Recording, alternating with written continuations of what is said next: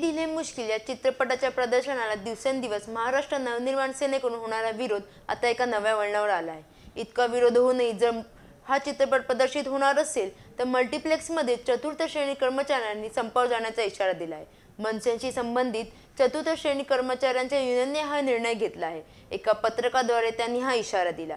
मुंबईतील एका मल्टिप्लेक्समध्ये मनसे कार्यकर्त्यांनी करण जोहर मुर्दाबाद अशा घोषणा देत ए दिले मुश्किल या चित्रपटाला विरोध केला आहे.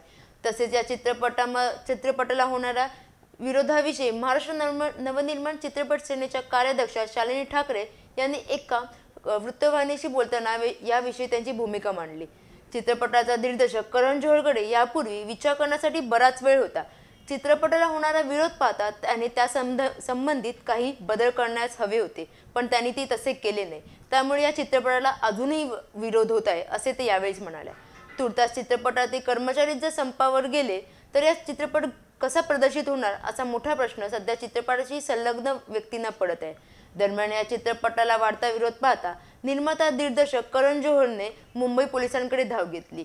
करणने मंगळवारी बॉलिवूडमधील काही मंडळींसह मुंबई पोलीस उपायुक्त अशोक दुधे यांची भेट घेऊन सुरक्षा पुरवण्याची मागणी केली. मुंबई पोलिसांनी करण जोहरची ही मागणी मान्य केली आहे. यावेळी film and television producers guild of इंडियाचे अध्यक्ष मुकेश भट फोकस्टार इंडियाचे सीईओ विजय सिंग मामी फिल्म फेस्टिवलच्या अनुपमा चोप्रा निर्माते सिद्धार्थ रॉय कपूरही यावेळी उपस्थित होते. अधिक माहितीसाठी पाहत राहा लोकसत्ता डॉट कॉम